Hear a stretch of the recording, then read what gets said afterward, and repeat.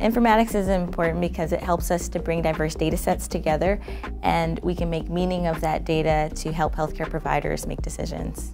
As a non-clinician, I collaborate often with clinicians on my research. Generally, we're bringing our expertise together.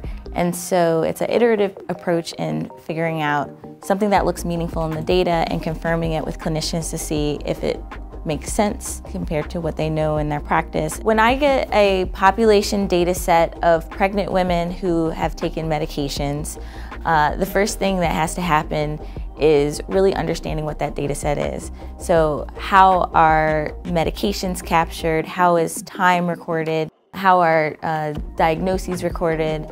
And understanding the context for why those data were captured. I want to see the patterns of uh, prescriptions? Do they occur before pregnancy, during pregnancy, or after pregnancy? These are uh, rich data sources that we might be able to leverage to make new discoveries around uh, the influence of, uh, of treatment on um, response. One area that I'm focusing on now is uh, understanding how we can leverage technology to uh, provide decision support for obstetric health providers in particular that are treating pregnant women.